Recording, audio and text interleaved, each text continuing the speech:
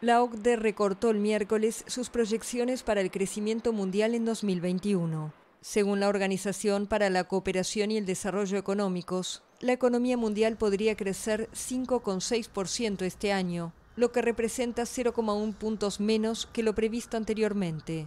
Para 2022, la organización sigue previendo una expansión de 4,5%.